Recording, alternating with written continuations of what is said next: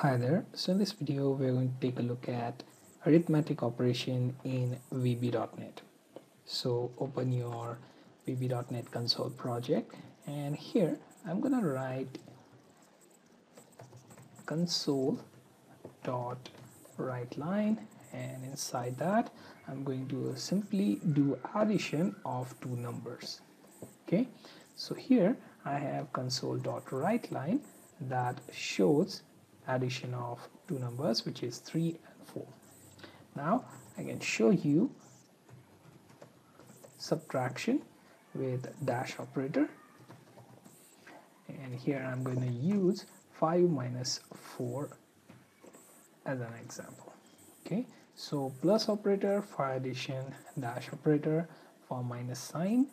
Then you have console dot write line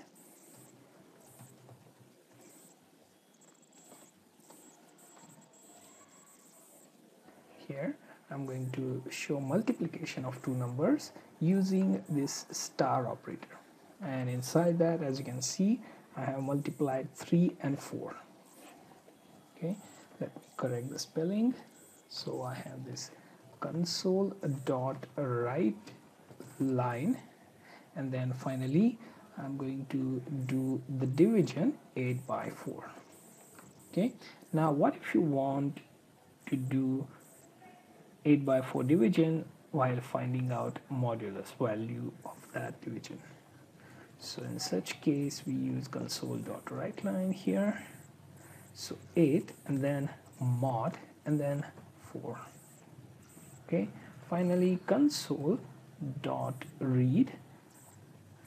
Okay. Just to pass the output. Okay. So this is going to be our addition and subtraction then multiplication then division and then finding out this modulus value. So totally we are taking a look at these four mathematical operators and this mod keyword. So let's run this and find it out.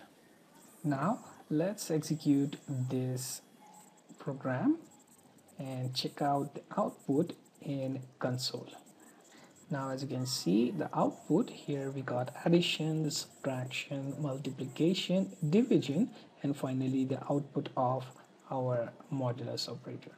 So as you can see these are the mathematical operators that you can use for your visual basic console application as well as for GUI application